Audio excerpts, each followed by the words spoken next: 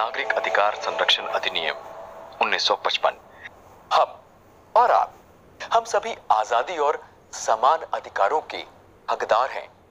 हम सभी को आज़ाद आबो हवा में सांस लेने का अधिकार है। हमारे इन अधिकारों की नुमाइंदगी करता है हमारा संविधान, और हमारे संविधान की मूल भावना है जियो और जीने दो। उसकी नज़र में सभी नागरिक समान हैं, पर इस आदर्श विचार को कानूनी जामा भी तो पहनाना था। लिहाजा नागरिक अधिकार संरक्षण अधिनियम लाया गया। तो चलिए चलते हैं साल 1955 में और इस अधिनियम के प्रावधानों को समझते हैं।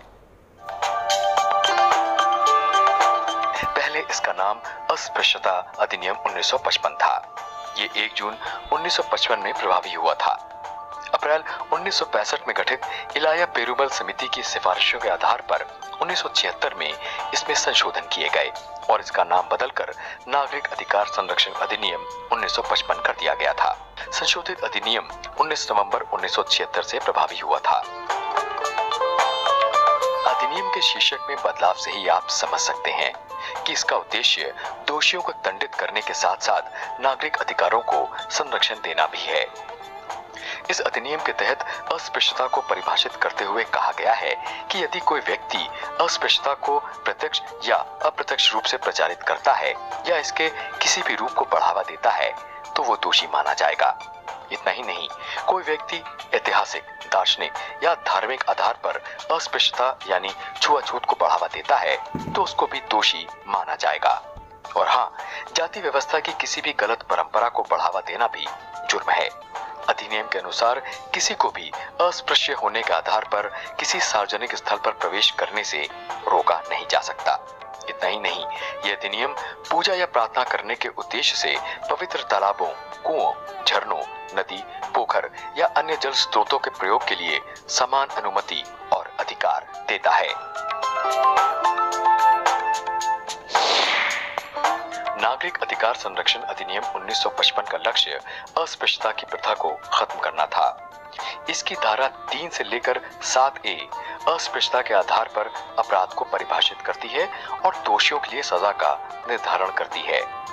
इसमें सार्वजनिक पूजा स्थलों में प्रवेश करने से रोकना या पवित्र जल संसाधनों के उपयोग से रोकना धारा तीन के तहत आता है। किसी भी दुकान, सार्वजनिक भोजनालय, होटल, सार्वजनिक मनोरंजन, शमशान भूमि तक पहुँच से वंचित करना धारा चार के तहत आता है। किसी भी अस्पताल, औषधालय, शैक्षणिक संस्थानों वगैरह में प्रवेश से इंकार करना धारा पाँच के तहत आता है। माल बेचने और सेवाएँ देने से इंकार करना धारा छह के तहत आता है। चोट पहुंचाना या अपमान करना धारा सात के तहत आता है।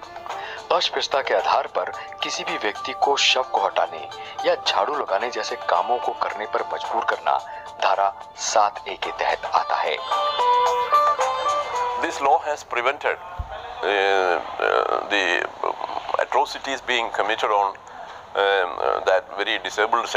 society to a very great extent otherwise these people you know they are the most vulnerable section of the society, so naturally um, uh, they needed some kind of a protection. And that is why this law was made.